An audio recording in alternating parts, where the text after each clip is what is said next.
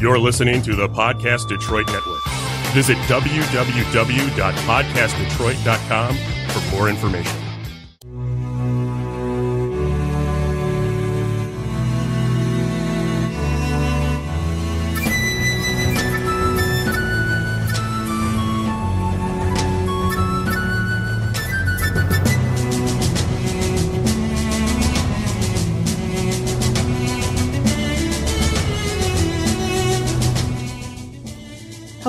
Friends. friend. Uh, Welcome I mean- I mean, to have- the. Well, you just Do you want to just do? Because I usually.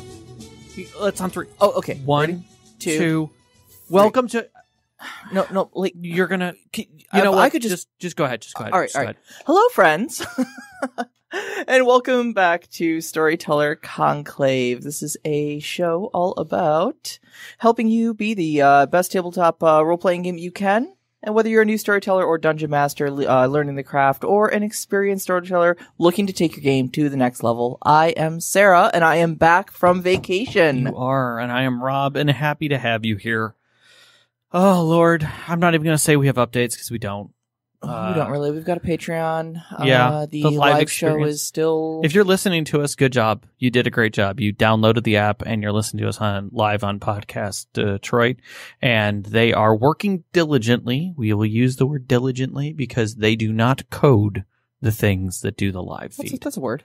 So, uh, yeah, um, we're gonna just, we're gonna be honest.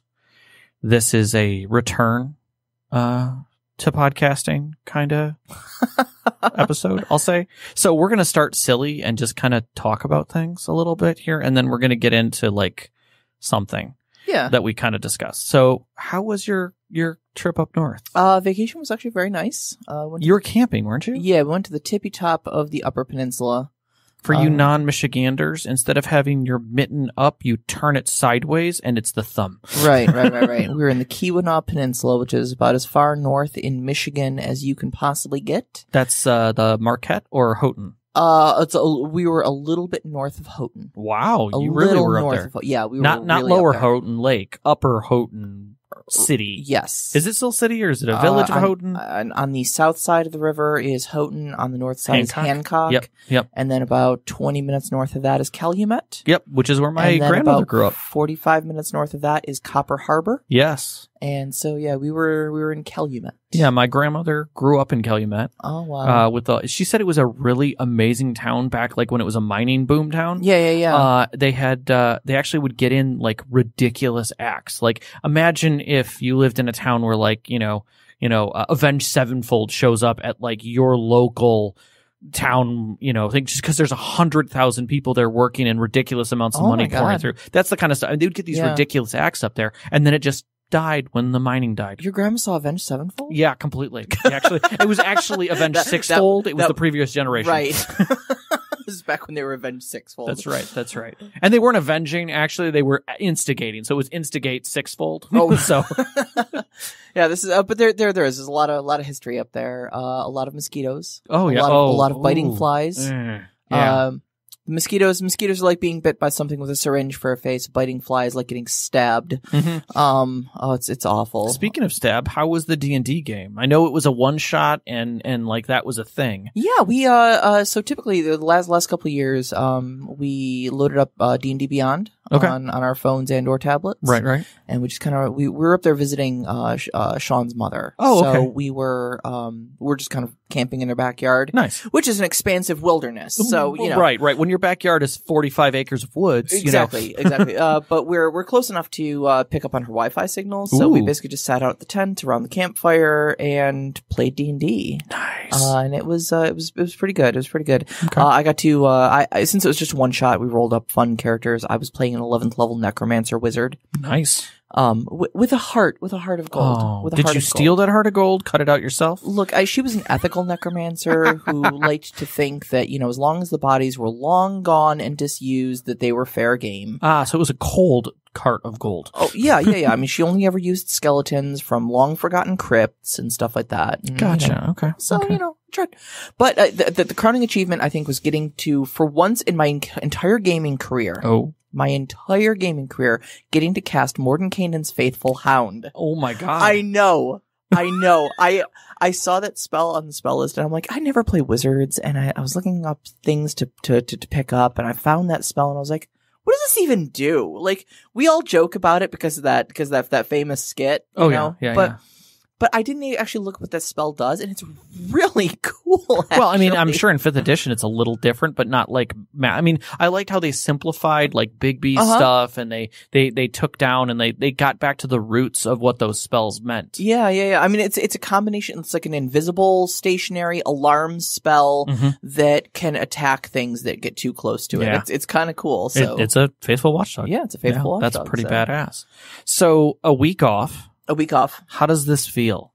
Getting back Uh, to the mic. I got to be honest with you. Uh, Okay. Driving up to the station today was a little weird. Like I had that sort of panic in my in Well, my heart. dinner, like, you kind of didn't like. Normally, we talk about the show or we talk about something we're going to do on the show, and you literally were almost avoiding it like the plague. I was like, I I don't even remember. Do we we do a podcast? yes, right? Like, yes, God, yes. it's been so it's been ages. I have no memory of this place, you know.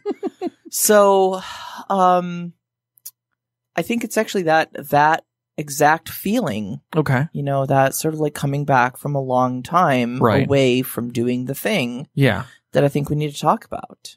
Okay. So Uh, that's I, I I when you brought up the topic originally, I was like, okay, I I, I think she's poking at me because I need to run my D and D game. Well, it was a little bit of that, but um, I'll, I'll be honest with you. What, what what kind of solidified this topic in my mind was actually listening. It was weird enough listening to our own show While you as were a- up there? as a listener while Okay. I was up there. I didn't get to I didn't get to hear it live on uh, on Wednesday night. right, but I right, did right. I did listen to it when it was released on Thursday morning. Uh-huh. Um, and uh, just pop my head- headphones in while we're eating breakfast and You should just say thank you to veteran. yeah. Well, I, I I'm getting there. I'm getting there. Thank you, first off, veteran, for filling in for me. He did a great that job. was it was it was great job. amazing. Also on short notice, thank you so much. Yeah. Uh, you did an amazing job. Yeah. Uh, I I was I was a little worried, low key, that I was going to come back and not have a job. So No, like, no, no, you know what? Veterans just going to do this from now on. So. No, but he played your part well. He really did. did. He did play he your did. part he well. did. There were there were several times where he was like, "Well, since I am the the surrogate Sarah today, Yes. yes. Um, So yeah, returning. Okay. But uh, it was it was actually in listening to that show, Okay. and uh, he was talking a bit about you know coming back from a long hiatus. Yeah, definitely. you were talking about coming back from a long hiatus. Yes. and uh, there were a couple other people on our Discord, Technolich being one of the main Mhm. ones. Oh yeah, yeah. Um, it's uh, you know, been kind of a t- an ongoing discussion topic with a lot of people, kind of in our in a little community that's sprouted up around the show, of oh wow, a lot of us are really kind of dusting off the books Mm-hmm. and getting back behind the DM screen for a long time. And there are certain challenges and anxieties that come Oh, God, with yeah. that. And, um, so I, I wanted to talk about that a little bit and maybe Mm-hmm. not in the sort of instructional sense that we've typically held with this, with the format of this podcast. Are we doing this more in the like therapy sense where we're having a group discussion? yeah. Why, Oh, why don't you okay. Tell me about your character's mother? Um, but but no no really like uh because I, mean I I've you know I've taken hiatuses from the game. Oh, Um, yeah. I'm currently running one, but I, before that it was like you know two three years. Oh yeah. five years. No, no, like it was it was a while. It was a good good steady break. I, I- want to say basically since I've shut down my aberrant game or not my my your adventure, adventure game. game. Yeah, Yeah. until I ran aberrant. Right. Then for Knox in a box and uh and Sean and uh, our little motley right. there. So uh you know we we've and, and even before that then you know periods in high school periods in college and stuff like that where yeah there was nothing going on for a couple of years You're And making. I'm doing a quick search on my phone here to see if I can find the last time. Uh, wow. Okay. Uh, I I'm not sure if this is accurate. uh for adventure 2012. yeah i was 30 Oh wow. I was i was 30 maybe 31 i can tell you because i know exactly which life events of mine made me stop uh, trying to put energy into running a game Well, uh, uh, and there we go. Yeah. That's. I mean, we we've talked about the reasons. We well, actually, I don't think we have talked about the reasons that sometimes stop us, yeah but they num- they're numerous. they're numerous they're numerous. I mean, you you. It's rare that you. I will say this: it is rare that you plan to stop a game. Like you may have an end Mhm. on like a one shot or like a couple shot where you have a closing and it happens like you want it to. Like you get to a close and you're like, yeah, that's what I wanted to do. Finished a story, achievement unlocked. First off, when you do, when you do finally hit that moment as a storyteller where you're like, shit, I just finished this. That, that moment that immediately follows the, yeah, is Mhm. the, do I, do I do another? Right. Do I have to do another? It's like that that Netflix series, you know, where like when you when you hit the end of the series and you're like, oh god, what am I going to do without a fifteenth or sixteenth se- season of Supernatural to watch? You know, Oh God, yeah. When like it, it's funny to say it, and I and, and I I'm going to talk about it a couple of times probably. Um, and it's a funny cartoon, Gravity Falls. Mhm. When we got through the second season of that, and it it was the end, and it was a defined ending. Mhm. They did a beautiful job on sure. it. It was like I was hollow. I was like, oh God, like what? Like it was going to go on to another show. Yeah, And I'm like, yeah. I'm not prepared for this. yeah, like, is this going to be better or worse? Right. Or like, uh, like how how do you feel about those moments? So I think at the end of a gaming session, it's the same way, and it could definitely push you into it. Um, I know for me, it was life stuff that Mhm. just came along. Like we were it, for my D and D game, which is coming back around. Mhm. I promise that it will come back around. Uh, not too much longer here. Um, it was literally just we, uh, we came to a point in the game and it paused. And I think there was just an extended pause that extended because of circumstances Mhm. and just kept extending. Yeah. And then I just couldn't find a good point to come back at it. Yep. But now I'm, I'm, I'm looking at it. I've, I've pulled the materials. I've, I've redone things. I'm starting to do some of the things that I wanted to do as far as preparation. Like I'm putting everything in Scrivener like I wanted to try. Mhm. Um, I'm also finding it's annoying as hell to start something like that. So I'm going to say right now, as a as a DM uh, who's coming back to the fold, don't necessarily restart a game by putting a bunch of data in a system that you're not familiar with cataloging. I, I pulled a book out and just started writing by hand again. yeah, yeah. So I'll probably end up digitizing most of it just because I need to do it. But uh, yeah, I think I think I might flip between that and between Scrivener and uh, Google Docs again. I think just to keep it organized. But I did write, so it's good. Mhm. Like the little things, but I, I guess like I don't know. Your longest was that probably right? Was it? What is that like? Oh, I don't, I don't know that that was even my longest though. You had longer before know. that? Um, because I want to say that I didn't really have a steady gaming group between like college and like definitely a handful of years out of college. But you gamed.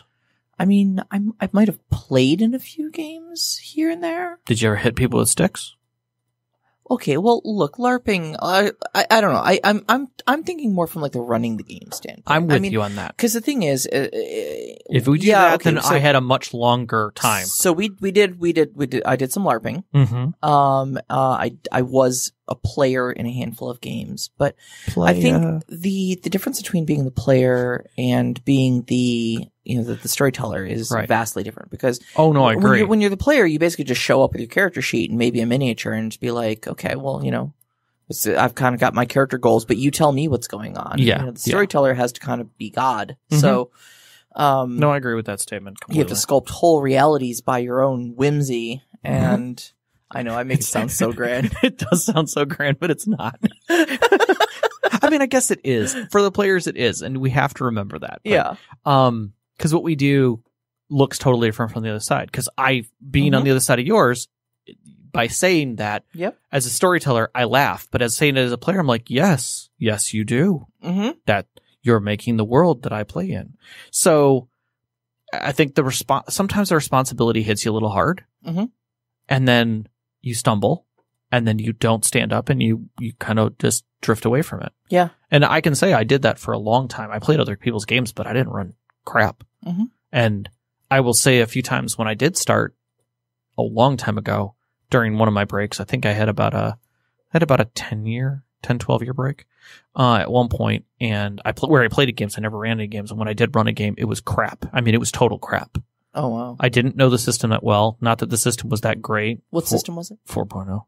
Oh. Um, and, uh, I was just bad. I had I had a dream. I started doing something, and it was it was terrible. It was absolutely terrible, and it turned me off almost instantaneously. Like Mhm. I shouldn't do this anymore. I'm I'm bad. Um, but it wasn't until I think my, I think one of the things that turned me, if I'd have to say, um, that worked for me was Seventh Sea. Like when I saw Seventh Sea and I played it, I Mhm. didn't run it obviously first. Well, I shouldn't say obviously. I didn't run it first. I played in a guy's game and I saw the system and I liked the way it was being, I liked the style of the play and I'm like, I really need to get this. And then I started looking and realized the books were not easy to find because it was at that point older. It was a few years old, but nobody had touched it. Yeah, and it, wa- wasn't it already out of print or something? Pretty or- much. Yeah, they stopped printing. AEG stopped printing new books Yeah. for it. And so I had to start digging and I would go to cons and find books and then friends would find books and we Mhm. eventually pulled it all, all the books together. And I think by the end with, without the digital copies, I still have all, almost all the books, Cool. which is pretty cool. Yeah. Um, but, uh, that's what drove me back into storytelling for me. That's what my first pullback was and getting me, got me back to writing and, and finding characters and getting inspiration. So let me let me ask you this: What was it about Seventh Sea that pulled you out of retirement? I've always had a very scenic view. I, I have a cinematographer's eye in my head I will absolutely agree with when that. I yes. when I look at a scene or I look at and I call them scenes. Mhm. Uh, when I Yep. look at a story and I look at what's going on and I'm looking at the players in my mind and I'm figuring out what's going on, I'm watching the bad guys or I'm watching the antagonists literally through the uh, lens of a camera. Mhm. I will paint things like a lens through camera, especially with 7th Sea. I'll Yeah. talk about literally Yeah. camera movements and You what you're seeing and glints and so you're getting a very cinematic view of things like it's this is a sh- a TV show almost Mm-hmm. and a lot of times in 7th Sea they talk about things in that sense you want to portray it in that sense that literally you're watching Man in the Iron Mask or you're watching the Three Musketeers you're watching you know Don Juan DeMarco or Mhm. one of those kinds of movies where there's a lot of scenery moving around and you do get glimpses of the antagonist at times you're given scenes that occur from the antagonist's point of view uh, or from a, a scene in them you know you see count richelieu talking to you know a uh, a dignitary from another land about some secret deal but you're not sure exactly what's going on there and then it cuts to some event because while they were standing there talking you know uh uh, you know, one of his henchmen comes in and says, you know, we believe we know where they're at. And well, you know, well, then why, what are you waiting for? Deliver the note. And he leaves. And then the next scene is the players being delivered the note, Mhm. you know, and the scene continues. Right. And it's those kind of things that really endeared me and intrigued me about 7th Sea of saying like, well, how do you play a game where the players are given scenes? They're, they're handed one part and then what, what they move to next is up to them. But then there's other scenes, there's other intrigue, there's other moments. Mhm. And it's always about this heroic vibe that sits behind the whole thing. And coming from fourth edition D and D, Yeah. that really kind of spoke to the cinematographer in you. Then and Very much was so. Like you know what, I I need to run this. Yeah, and I I've always had a thing for for cinematography Mhm. and for film. Like I'll look at shots that that some cinematographers Oh, sure, done and sure. it will some make me cry because I know the effort that they went into to to build that shot Mhm. and that's not CGI. That's it's literally I took the time to make this beautiful. Like some of the stuff that OK Go does in their freaking videos Oh yeah. where it's yeah. one continuous take. They're, the the angles change, the camera shifts, may go upside down. They might be in zero gravity. I mean, they literally do the most insane stuff. Mhm. But I look at that from so many different ways, and I'm like, that's beautiful. That's art on so many levels. that fight scene in the first season of Daredevil okay. on Netflix. Yep. It's like 11 minutes long with Yep. no cuts or something like that. Yep. Was just Yep. insane. There, there's just a insane. Yeah. Atomic Blonde has a fight sequence that's one continuous camera shot. Oh my god. and I think it's, I, I want to say, I'm looking over at uh, Kate, Kate. Kate's nodding It's- I want to say it's right what is now. it like a it's like a seven minute fight sequence or something. It's really long. It's a, it's at least over five minutes. Yeah. And it's awesome. Yeah, it's it's this epic fight sequence. Mhm. John Wick would cry, kind of a thing, um, uh, from a cinematographer point of view because it's beautiful. Now, granted, John Wick has had some very long fight oh sequences yeah, in yeah, it, yeah. but they're moving through an open staircase and through a broken apartments Mhm. and going up and down stairs Oh and god, yeah. there's in its angles and you're getting compassion from characters and wounds and nothing stops. You just watch this whole thing break through and you're like, there should have been a cut in that. And you go back Seems through like and there's no cut. impossibility. Yeah. It, it feels like that. So, um, it was beautiful. It was beautiful to watch stuff like that. And so that's kind of the stuff that draws me to Seventh Sea. And then sometimes when I go into other stories or other systems, I have to take that eye with me and change it a little Mhm. because it doesn't fit for everybody. Right, right. No, absolutely. And, I it doesn't fit for all players. That's something you and I have talked a lot about is the difference in our in our own storytelling styles. Oh yeah. Um, you know, I, I like a very more grounded, a very, I, I, I kind of like the gritty realism, but I try not to get too gritty with my realism. Mm-hmm. Um, but I'm, I'm constantly trending in that direction, whereas I think you constantly trend in the more bigger, broader, more cinematic sort of, Mhm. uh, sort of way of doing things, you know. What brought you back? Uh, I uh, believe it was WRNM actually. Really? Yeah, um, our friend Matthew ran Yeah. uh, that short little game of WRNM for us, and I was Yeah. so impressed with the elegant simplicity Mhm. of it.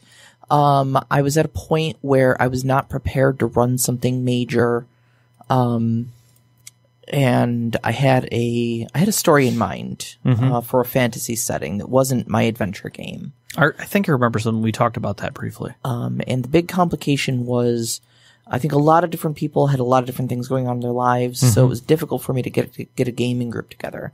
Yeah. And one of the things that was very attractive about WNRM was the fact that, as I previously mentioned in other shows, uh, the rules for it are free Mm-hmm. and they're short Mm-hmm. and they're super easy to learn. Yeah.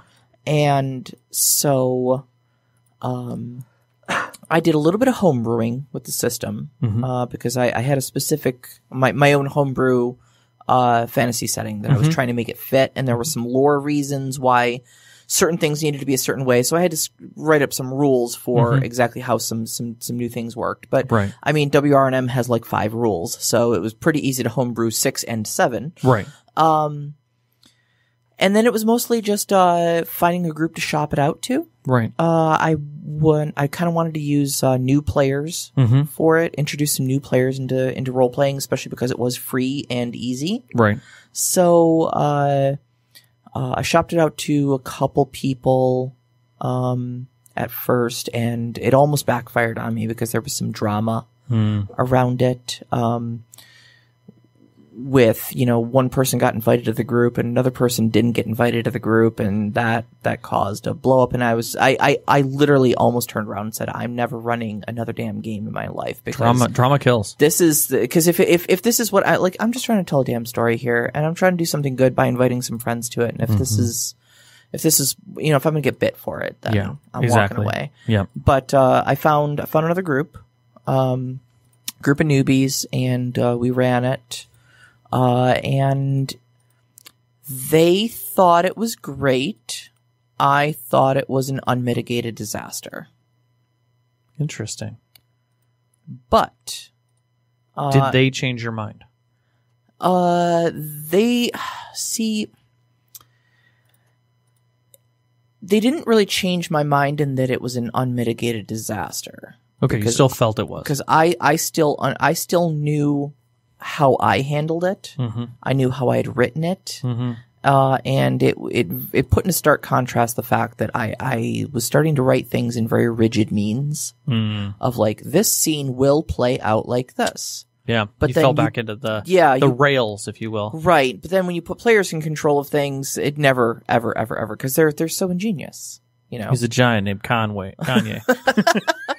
it's, it was an old saying: uh, uh, "Nothing's ever foolproof because fools are so ingenious." Correct. and uh, that's it's that's like rule number one for running a game. Pretty much. Um, and so how I had written things and how I kind of foresaw scenes linking together, kind of like you in a very cinematic way, because I think I'd been playing in your game for a while, Yeah. and I'd kind of gotten Used know, to that. I, I'd gotten used to your storytelling style instead of using my own. Right. And so I think I was trying to tell my story with your voice is what ended up happening. I'm trying to stay away from doing that with my with the D and D because. I've really enjoyed your voice and the way you tell things, Mhm. and I'm trying to get nope, that's not me. Like, Yep. So I get that. I get that. Uh, but it, it did, uh, it did call into light a lot of things about how my storytelling style had changed. Um, and it, it was at least enough of a slap in the face for me that I sat back and reassessed and kind of used it as a learning experience and didn't just kind of say like, well, I've got, you know, I've been doing this for 20 years. I'm an expert at it. I've got nothing new to learn. So what did translate? What did come forward from from what you knew in the past or how you did things in the past? Uh, I mean, obviously you learned. yeah, there are definitely, um, I mean, some of the good things that came from it. Um, I, I still very much had a good handle on encounter design and, uh, pacing, Okay. suspense and such like that. Like, Right, right. the actual act of telling the story was not bad. Right. Like, all of that was absolutely, you know, like riding a bike. Right. But it was mostly that in my writing, I didn't leave options open for myself. I said this scene will bookend into this scene. Right. A will lead directly to B. Right. And then when the players didn't choose B, Mm-hmm. I was thrown off because it's supposed to go to B now. And now I'm improving whole chunks of my story because, I mean, A, A was executed beautifully. Right. It's just that when they didn't choose to do B, then I was left with a bundle of notes and having to improv everything after that point. So, and I get that. Like, I can flat out tell you that there were times in in my Seventh Sea game that you were in where that happened, and I slowly got better at it. Mhm. And I know that uh, there's a question later that that came up on the Discord that we're going to go over um, about uh, the differences between um, role play heavy and dice heavy games oh yeah, yeah, yeah. and you know those kinds of systems. And I know certain players, and I'll, I'll straight up say it.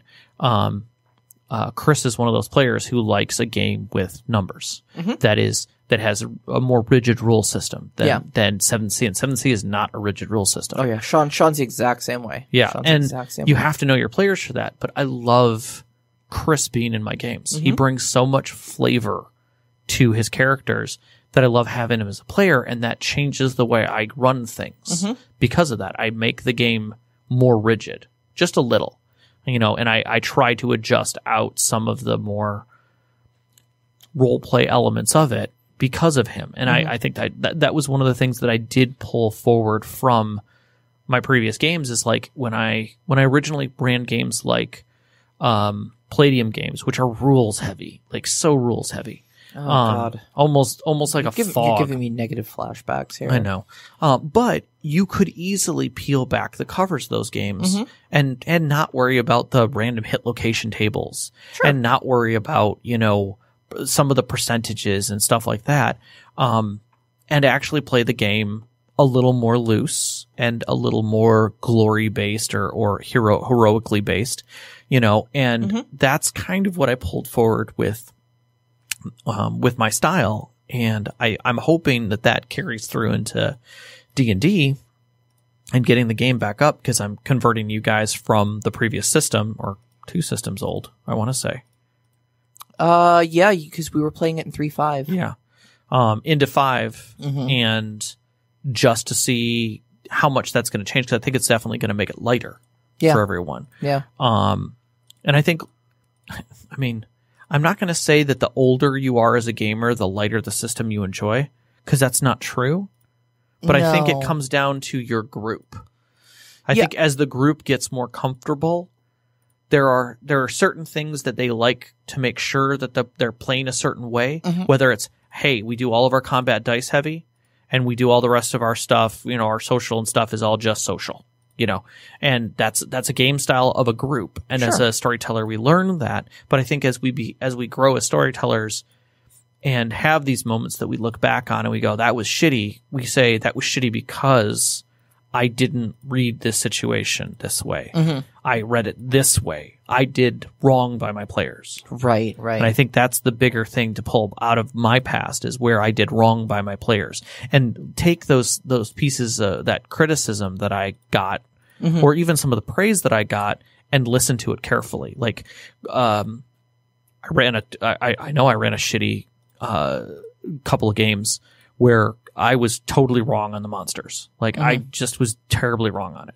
And I look back on that and I'm like, eh, I never want to talk about that again. But I have to talk about it with myself to say, what can I do better? Oh, sure, sure, sure. You know, And I- how I- can I learn better? I, I would actually say that's that's really kind of actually how this the this this podcast po- uh, podcast got started in Mm-hmm. the first place was I think coming off of that that revelation, uh, trying to run that WRM game Mm-hmm. where I I said, you know, God, I, I really have a lot to learn, and I don't know if you remember or not, but I sat down with you Mm-hmm. and said, I want to talk storyteller stuff We, yeah, I remember. and and I said because I, I I feel like I've gotten into a storyteller rut, Mm-hmm. and I feel like this happened, and you seem to deal with this very well. So, you know, talk this out with me. What what can I what can I do to make this better and make this easier on Mm-hmm. me to run and make more fun for my players and a lot less improv and such like that. I remember some of the conversation. I don't remember all of it because it was over a couple of nights that we we Well, talked about this. It, it was it was, and these are these are frequent discussions, which is why we have a podcast now.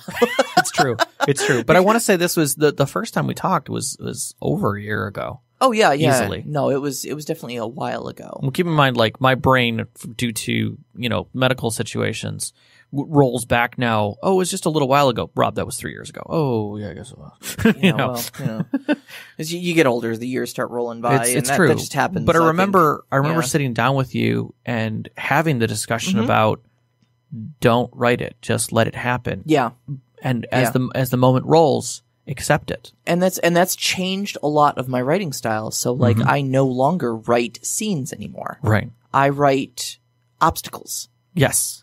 And those obstacles are just kind of out there and Yep. in place. And some of them might move depending on, you know, what, what's going on or Yep. player actions or Yep. villain actions behind the scenes or something like that. Yeah. But, um, you know, I, I find writing, writing an obstacle course is a lot better than trying to write a movie Mm-hmm. and then hoping that your players move through it as you want to direct them, you know. Right. Um, but that was a direct result of our discussion of you, you helped me realize I was trying to write movie scenes Right. Which is and it's way too rigid. right. It's way too rigid. It's good to write the concept and the view, which you do a beautiful job with, Mhm. and then let the scene unfold. Yep.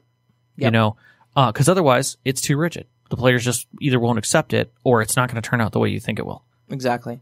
Now, the other the other thing I did kind of want to talk about um, too is as time has gone by and you and I have both kind of drifted into and out of the DM seat, Mm-hmm. is that uh, we're kind of living in the golden age of role playing right now. No, I totally agree with that. Um, and like I, I saw an article the other day and I don't remember what, it was a major publication. I want to say it was something, even something like Forbes or something like that. Yeah, Forbes writes. It's amazing some of the stuff that they have in Forbes these days. But the title of the article was how to be a professional dungeon master. I saw that article. I didn't get a chance to read it. and, and That I- was Forbes. I didn't, I didn't, I didn't get to read it either. Um, but I, I did see it come across my, uh, come across one of my, one of my news feeds. Well, And. I I, fo- I didn't find that one again, but I mm-hmm. found the I want to say it was the N- New York one of the New York publications had one about a guy who's a professional DM oh yeah, and DMs five games a week oh my god, at four hundred and fifty dollars a game. what? Yeah, he does four hundred and fifty dollars a game, game? five games a 450 five games a week, four hundred and fifty dollars a game. Now, granted, that four hundred and fifty dollars gets them four or gets him six hours of his time Mm-hmm. plus prep plus everything. He manages it one hundred percent. Uh, whether or not they're doing D and D or some other system, he has everything they need. I, I'm, I'm literally shocked, speechless right now. Like I did not know you could pull in those types of fig. So In New York, you could. okay, I would say you could in New York. Okay. I, you could probably do it in L.A. Probably New York a lot better. fair enough, fair enough, fair enough. I mean, okay, I mean, I- I could easily see someone. Uh, that's funny as heck when my dad's calling me in the middle of the show. Thanks, Dad. I'm going to decline you. Um, so, uh, the the crux of his thing is that the players that he's finding are not rich. They're not well to dos. I mean, they're Mhm. they're. I mean, New York is an expensive place to live oh yeah, yeah, it's absolutely. expensive to store things. Mhm. And most of the people that he's playing with, that he's getting this kind of money from, are people who don't have the, stuff to play. Oh, and they want an right. experience, they want a pay, place to play, or they want someone to come to them and he's got both. Like He's he's, he'll set up he's got locations. miniatures and Exactly. Like if you and- if you want it, he's got it. He's got uh, a storage unit full of Oh, stuff wow. that he pays about a thousand dollars a month to maintain, Oh, and it ain't that okay. big. But it's it's secure. He's got all Mhm. his books in there. He pulls out what he needs. A lot of his stuff is digital, but he produces these beautiful maps. He has people do music for him. Like it's a full production. that's that's really wild. But I mean, at that kind of money, you're gonna get it. sure, sure, sure, sure. But yeah, But I mean, uh, but but, but uh, that's what that's exactly my point, though, is Mm-hmm. that we're living in the age where that sort of thing is is is possible. doable. Yeah. Where you know there are enough new players coming to the hobby where I think it's no longer stigmatized. Where you know you're oh you're a nerd. The Satanic Panic is long since dead. Yeah, and you we're not that sort of thing. And we've moved beyond the what was it? Uh, it was, it was probably like six years ago. The the person, the people who put out the uh, they want a topless GM, you know. But they yeah, did you hear about that one? oh no, I didn't. I we're actually, what's funny was she was professional. Uh-huh. One hundred percent. They were like nothing, nothing lewd or anything. It was for a guy's bachelor party. We went topless GM. They hired her again, not topless, right They're because they like, wanted you- to know the rest of the Can story. you continue telling exactly. the story? Like they wanted part two. wear whatever the hell you want, but we want you to be our DM. yeah, like you did an amazing job. We actually stared at your eyes. That's that's amazing. That's So, but that's amazing. good storytelling. But you're right. We are in that spot where this happens. Um, so I think I think getting getting back into the hobby, I think, is a lot more forgiving nowadays because, I uh, hope so. well, what I'm, so when I'm when I was getting back in, my my my little weird um journey to fifth edition D and D. Right. Uh, I legitimately did not even know that it existed for about the first year that it was out. right. Right. possibly longer. I'm not sure. Um, so about 30 episodes into the first season of Critical Role. Um, this is when Knox in a Box turned me on to the existence of, of Critical Role. Okay. Okay. Uh, so I started watching it. I knew they were playing D&D, but that was literally all I, I knew. Right. Um, and so I, they were talking about advantage and disadvantage and roll this check or that check. And I was like, these rules don't feel familiar. Like what edition of D&D are they even play? Is this, this isn't Pathfinder, is it? Cause it doesn't sound familiar, you know? Yeah.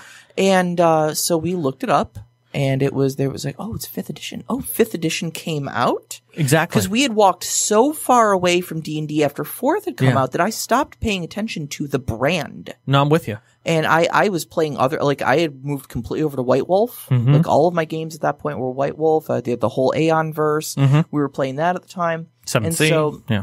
Uh, and at the time, um, I I had decided I wanted to run an Elder Scrolls uh, game. Mm-hmm. Yeah, And oh, yeah, So I what I was trying to do was I was actually trying to uh, homebrew WNR and I remember.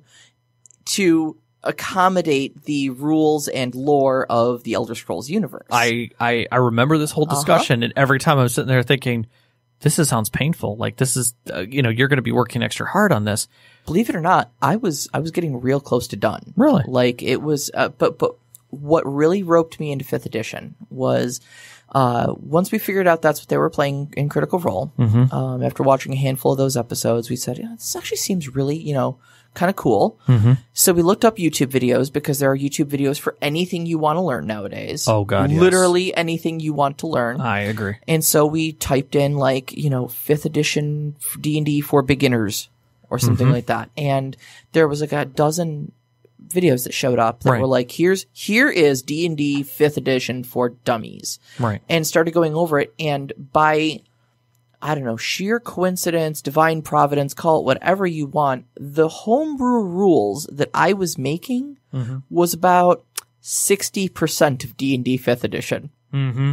And I was like, well, Some somebody already did the work for me and Yep. published it in a bunch of books. Yep. Sidestep. Continue. Sidestep, continue, and I we we we practically bought the books the next day. Yeah. Um, once we realized that it was exactly that style game system and that it was a lot simpler, a lot more freeform. Um, that's what roped me back into that. But uh, on top of that, though, I mean the the fact that we're living in an age where I experienced a new game system tangentially Mm-hmm. wasn't even in the game. I watched it happen. Right. Was able to immediately pull up several videos that taught me how to play that. Yeah. And then you've also got other YouTubers out there like uh, Matthew Colville, Yeah. Oh yeah. yeah. um, uh, XP to level three, which Yep. is more of a comedy sketch thing. No, but I still think but it's it- fine. But it's absolutely fine. It's instructional. Yeah. Um, there's you know JoCat's crap guides, which I think Oh, are funny Dude, as heck. I've showed that to so many people now. Um, and there's there's a, a lot more serious We'll like put links sort in of the Discord. a lot, lot more serious like uh, deep dive uh, Yeah. things like uh, um, taking twenty is a really Taking good, 20, is a- I do is a- remember is that. a Yeah, really yeah. great channel. Yep. Um, he's got this great series he does called Kill Your Party with. And it's all sorts of great ways to use a very specific type of monster and kill your party with gnolls. Yeah. I And think I caught one of his. I'm not going to say which one. Uh, but it's, uh, it, but what I'm saying is that, and, and that's, I mean, that is literally scratching the surface. Right. Barely scratching the surface Yeah. of all if you wanted to be good before, you had to sit down with a good DM. Yeah. Or watch one at a convention. Yeah. And now it's everywhere. You can watch good, you can watch bad, you can get critiques. You can watch a video about someone reviewing another DM and review the way they're reviewing. Right. no, I mean, I mean, you're you're not wrong though. So I think you know, uh, getting getting into gaming, getting back into gaming after a long hiatus, especially if you're looking to brush up on your storyteller skills. I mean, I know a great podcast for things like that, but you know, uh, but there's but there's, I mean, probably hundreds of of different channels out there doing exactly this style of content that are, you know, that are there to support you. Right. All right. the community about- is there. It is closer. It is better at hand. Um, I still think that it's it feels still feels a little segregated, it's little pockets, but it's always been little pockets. A little bit, But little now bit. you can get to those pockets and watch them and connect with them. exactly. And Discord's made ridiculously easier. And and that's I mean that's not even including all the the actual play Yeah. uh, uh media that's out there. Yeah. Um I mean there's there's dozens of actual play uh podcasts. Mm-hmm. There's you know uh, YouTube series, Critical Role, Adventure Zone. I mean for Yeah. for every for every flavor there's there's from you know professional levels all the way down to just amateurs goofing off in front of a microphone. Yeah. So No, I agree with And that again, statement. that's just for D and D. Yeah. No, no, I agree. I agree. Uh, sixth edition Shadowrun is coming out. Oh god. Uh, if it isn't already out, while I was up on my camping trip, um, I saw something mentioned about it vaguely online. Okay. Immediately was able to search YouTube, just like sixth edition story, uh, Shadowrun for beginners. Yep. Half hour video Yep. unboxing the beginner's set, Yep. going over the rules changes from fifth to 6th Mm-hmm. I mean, at, at this point, I mean, there's there's really no no better time to be getting back into it if you're if you're a storyteller that's uh, needing to dust your books off. Right, right. Um, so I guess the question is, do we want to keep this topic going? Um, or do we want to start hitting some of these questions that have been dying on, on our mind right now slowly from our stuff? Cause I, I could go into the anxieties of getting back into this stuff, but I think it's not going to be beneficial to me to getting back to D&D. No, I you know I, I think I think we talked about it too. Um, Okay. I- There's only there's looking at looking at our at our little note sheet here. I think I think there's really only one thing that I would like to address. Sure. and those are the words nuke and pave Yeah, yeah. because That's always hit me as something because like it's you look at sometimes you look at old games like I'm I've been looking at my D and D game Mhm. which is long, long. Like I didn't realize how long that game has been running. yep. Uh, and there was a point where I, I, was I joined it in progress when I first met you. yeah. And the, what's funny is the players when I asked them like, "Do you remember when Sarah joined the game?" And they're like, "Yeah, right at the beginning." I'm like. No, No. it was like a year plus into the game, and they're like, "Oh, And you guys were pl- playing pretty regularly at that time too. Yeah, So that was yeah. a, a year into the game. wasn't a few game sessions. No, no, it was quite a bit. And I, I went through all the notes and I went through the sessions logs that I had and I was like, holy God. Number one, I did not take enough notes. Mm-hmm. Number two, I was having to dig for memories. Mm-hmm. Like what, what I remembered versus what I had believed you all knew. And then at the end of it, I was like, we ended like what I called Act Two, but we weren't at the end of Act 2 We Mhm. were probably a third of the way into Act Two. And I was like, crap, do I continue from that point, even though we're going to be the characters are going to be slightly different. How do I explain that? How do I work through that? Do I just scrap the whole idea and start a new game mm-hmm. that's totally different because I do have other ideas? And the nuke and pave seemed like a better option for me every time I got closer to it. And I've pulled away from it because my my players, including you, like their characters, like the story, want to know what's going on with that story, and so I'm going to move the story forward. I've got some options, and eventually, once I start the story, I'll bring those what happened and where my thoughts went through it um, up on the podcast here. But it has been a struggle to try and not nuke and pave. Yeah, yeah, absolutely. Uh, I, I went through a little bit of that myself with my own homebrew setting. Mm-hmm. Because uh, I very much like uh, uh, I believe Techno Lich was talking about this on our Discord server too. Mm-hmm. Um, began writing my homebrew setting in high school, Yeah. and I was not good. Well, yeah, you learn. Uh, and so uh, a lot of the stuff that uh, I wrote into that was stuff that I thought was, you know, I oh I was subverting fantasy tropes, and I, you know, and and, and admittedly, some of it was really good stuff. That's where it's those those were the beginnings of my sort of gritty realism of like taking really tropey stuff and going, no, like how does this actually work in the real world? You know, that's completely non-functional. Like no one would ever do that. Right. There's no reason for it, so it should work like this rather than like this. There's no bio- biological evolution reason for these things to be here. Right or to right. be like or this. why would worship why would people worship an outright evil god Right. like you know th- those sort of fantasy tropes don't make a lot of sense Are they all goth? I mean, well yeah exactly so you know what what purpose in a in a real world situation would a god of destruction you know Have serve meaning, for yeah. Mm-hmm. things like that so i mean there were good things that came out of it but at its at its core though it was a really generic fantasy setting with elves and dwarves and humans and the elves lived in the trees and the dwarves lived in the mountains and I mean those are good. I mean they're tropey, they're very Mhm. Tolkien-esque and there was utterly nothing making them fun or unique from any other setting. right, And at that point why aren't you just playing an established setting, right. you know? I mean, I I've made the world that my D and D stuff is in is different. Mhm. I've got or I mean, I put this on the Discord as Oh, well.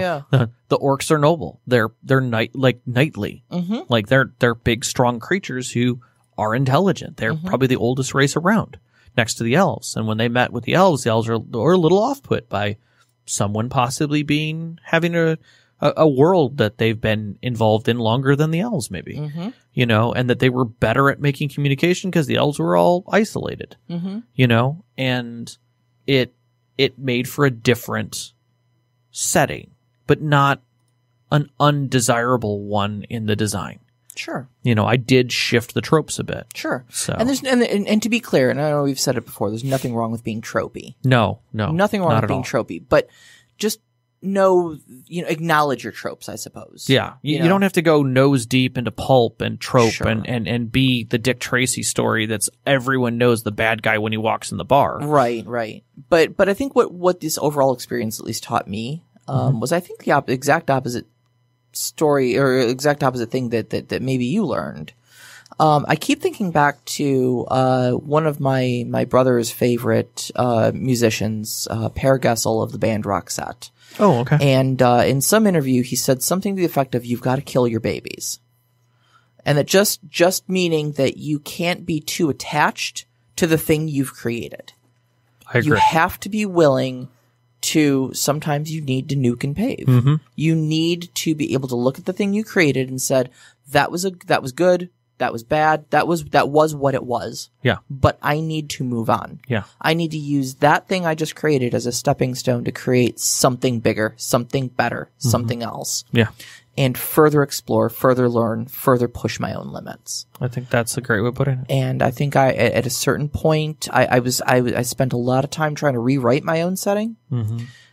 kept failing. And it, and, and I just, I, I think it was about two years ago, I just looked at this big pile of notes that I had and I just said, you know what?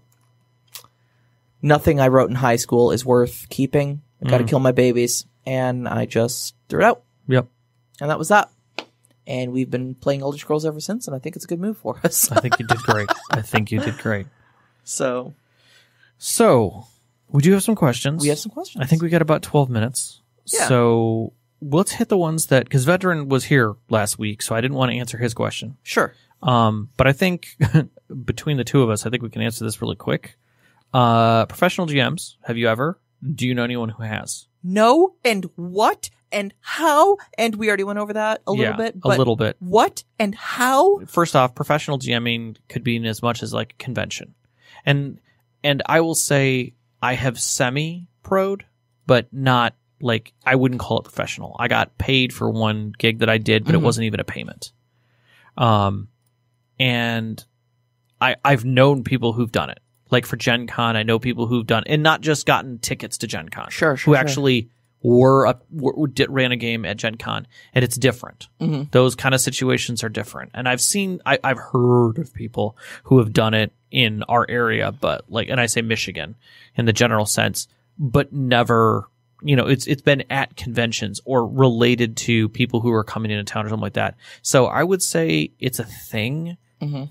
but it's not a pervasive thing that I'm aware of in any way. See, this whole time, uh, I could have been making four hundred and fifty dollars a session, and I've been being paid in Sour Patch Kids instead. Hey, it's what you asked for. It, it is actually legitimately what I asked for, though. Yeah, it's true. All right. Uh, Matt, Systems to avoid for new storytellers and or new players. Um, two things. first one two main avenues. All right, two. uh, rules heavy, Okay. emotion heavy. I, I agree with both those statements. I'm going to say for that, I'm going to tie them together Sure. in one if I had to pick a system right now. If your friends sit down with a book that has the word paranoid on it and it's your first game, paranoia, Paranoia. yeah, walk away. That is What? not a first game. Oh, That is oh. not a first game with friends. That's like playing, you know what that is? That's playing, that's playing Cutthroat Settlers of Catan with people you've barely met that you're supposed to be great friends with. That's accurate and, but but paranoia. Paranoia is a great game, but you Paranoia can't. a great but game. you but you have to know what you're getting into. That's true. That's true. That's true. Another one I would You're not going to get your like classic done. Like if if you watched a bunch of Critical Role and said like I want to play the game, Mhm. d- you're don't plop paranoia in front of somebody. It's a completely different thing. Yeah. Oh, I've, I lost the other game in my head. Keep, I'll keep going. I'm sorry. was- no, it's okay. I, I had one other that uh, is going to kick me like without question because it was one that uh, Chris used to play, and everyone who's ever I've never played it, Mhm. but everyone who's ever played it was uh, has told me that it's ruined friendships. Oh wow. And I'm trying to think of it off the top. I can't think of the name of it off the top of my head, but it'll come to me. Uh, one that comes to mind for me to avoid, Mm-hmm. um, though I, I know it's been out of print for ages now, is uh, Wraith. Oh yeah, White in the White Wolf setting. Yeah. Um, uh, very deeply emotional game. Like you, you die during character creation, you know, because you're playing a ghost, yeah. and it just goes downhill from there. It's like the Um, crow, the, yeah, the, the it's, game. It's yeah, basically, it's it's that style of bleak, and maybe a little, maybe a little too deep of waters to wade into for first time, especially players. Yeah. Um, yeah, I would stick to something rules light, and I would stick to something fun, I'm going to say I'm going to say be aware of of rules almost less. Yes, that actually just came to mind because I was just thinking, you know, Fate would probably suck for new players as well. You you need to have some structure, mm-hmm. but not so much that it is cumbersome. Yes, yes, absolutely. And it needs to be fun. Mm-hmm. It just needs to be fun because they're not going to know what fun is. Yeah, Fate Fate Core is something I definitely want to talk about a lot next episode. Amber. Amber, there you go. Don't play Amber with your friends because you will learn who everyone is in a painful, painful way. Oof, oof. I'm just that. That's what it was. Wow, that that hit me hard. Thank you thank you with your godlike powers friend of mine who is sitting behind his computer right now. I'm sure. All right. Um, Technolich, have you? Uh, uh, I have a friend going to Gen Con this year. Congratulations. Uh, and I'm sorry. Um, I've never been to a gaming convention. Uh, what are their thoughts about conventions, gaming versus home court gaming? I went to Gen Con last year. Mhm. I played in three different game settings. Two of them were role playing game settings.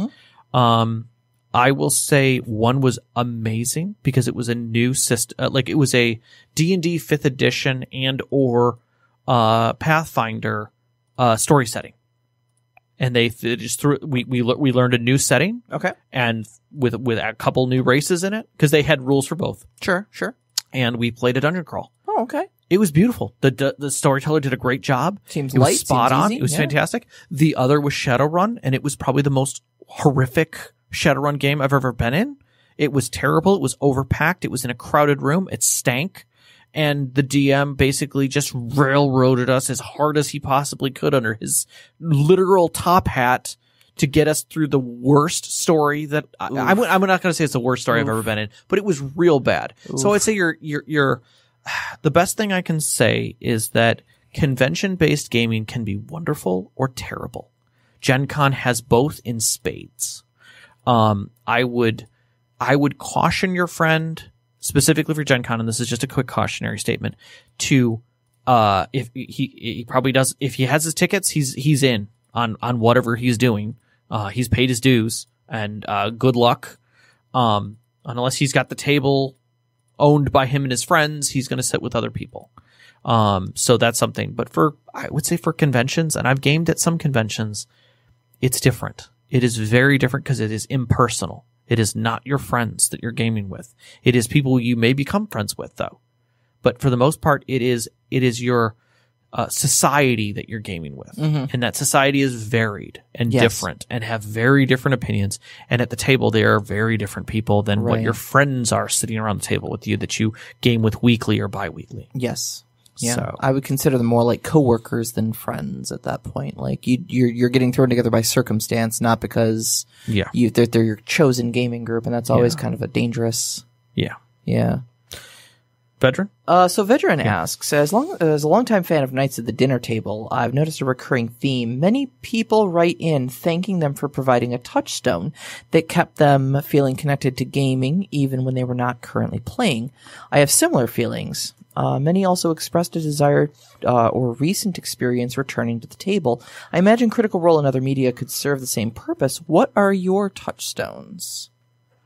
Hmm. Well, Critical Role definitely for me. Yeah. Um, I, I had really kind of almost faded away from gaming entirely, except for what you were running, Yeah. and then Knox in the Box introduced me to Critical Role, and it's been a whirlwind sucking me back in ever since. I would say my touchstones, uh, at least for for getting back to things, has always been fantasy movies. In Yeah. any any settings, when a new fantasy Yeah. movie comes out, it draws me just a little bit back to uh, 7C. Oh, I wish I could play a story like that. Exactly. Yeah, or I see yeah, something, I'm like, I know how that would play out. I know what Mhm. rules are being played in that. Um, you know, a lot of the more recent uh, pulpy stuff though that I've been seeing pulls me toward adventure and wanting to hear you Mhm. retell that kind of stuff. So I would say those kind of things. Movies do it for me. Movies and, and shows do it for me. yeah, absolutely, absolutely. So a uh, couple good books, I think. Uh, the Dresden Files series, Yeah, the okay. uh, the the October Daye series by Seanan McGuire. yeah, um, things like that have really kind of captured my imagination. From I've also found that rereading books that you that you love, like I I love Snow Crash. I will reread it. Mhm. I will reread Ready Player One. Um, you know, I will. Uh, I, I those types of books help me as well because I will I will get the visuals in my mind again, and it will slowly pull me back in. Yep. You know, Yep, Absolutely. those kinds of things. Uh, so our last question from Overwatch. Yes. Uh, if you are starting a new game that is not your stereotypical high fantasy, what tools and tactics do you use to communicate the setting to your new players that might not be genre savvy? Um, when I was doing Seventh Sea, I literally were giving people movies to to go off of, or uh, or mythical stories, Yeah. like children's Yeah. stories, because it it helps because that's the setting. That's literally how they define the setting. I think for D and D, you know, you you kind of go back to Tolkien and you go to th- those types of of media. So I think media is always the good way for me to help people. Yeah, media is a great way of doing that. I remember when I was trying to organize the adventure game, uh, I literally told everybody go watch Sky Captain and the World of Tomorrow, that's perfect. Yeah. and then just think of what a game would be like in that world. Mm-hmm. Did not take much. It Did not take much. Absolutely. So so I say I say media is a good thing, and plus with YouTube, it's really easy. Oh, it's super easy. Yeah, super easy. barely you just convenience. dro- drop a couple YouTube links in an email, and Yeah. yeah, like I said, we're living in the golden age of gaming now, so Yeah. it's, it's super easy to find. Sometimes I'll throw up pictures. I'll, I'll get Mhm. the art because a lot of the artists who do the books now do other art. Oh yeah, sure. and you can just grab their art Sure. offline, show it to people, and be like, "This is what I'm talking about." Digital age, man. So we had one more question, but I think it's going to segue into our next topic. Yeah, I I, th- I think it I think it absolutely is. It's pretty much our next show. So, uh, Matt Elf sent, uh, and this is a little bit back. This is more of a two person discussion than a question. So maybe for another time, if we're inclined to tackle it, which we are, We are. class level based systems versus point based individual skill development systems, advantages and challenges to running and playing them. Well, funny enough, our next week's topic that kind of Sarah threw at me, which I didn't even realize we are going to need, but it, it worked out really well, is systems and gameplay. Dice, levels, classes, role playing, combat. The whole Yeah, I thing. mean, we, we talked a little bit about this in our first uh, in our first show. We were talking about how you know the the theme and the game system kind of go hand in hand, but I think we want to get a little grittier about uh, actual mechanics, how they play out, how we like them, what sort of game you know, what sort of, of players fit well with them, what don't, and uh, you know pros and cons of various systems like that. So, uh, yeah. Uh, so unfortunately, Mad Elf, you are going to have to wait Till next week. till next week. You can find us on Twitter at st underscore conclave or Instagram, same thing, st underscore conclave. Um, please take a look at our Discord link if this is the first time listening. Uh, you can find it on our Twitter. Uh, it'll give us your give the episodes and the other ones you can get to, as well as joining us, and we'd be glad to have you. Uh, we'd also like to thank our Patreon members, Knox in a Box, Ela May, and our newest one, Dave Pullen. Yay, Thank you so much for uh, helping uh, support the show. Yes. You can support our show on patreon.com at storyteller conclave. Uh, Our intro music is uh, Beyond the Warriors by Gooey Frog. Our outro, which you're hearing now, is Only Our Footprints in the Sand by Midair Machine. You can find both these tracks and so many more on freemusicarchive.org. Uh, Podcast Detroit is where we record, and that's uh, podcastdetroit.com or Twitter at Podcast Detroit. Our lovely engineer is Kate. Uh, and we'd like to thank our families. Uh, Vicky, Sean, thanks for everything. You did a great job, Sean, this weekend. And all of our friends who've sat at our gaming tables made all this possible. Thank you. We love you.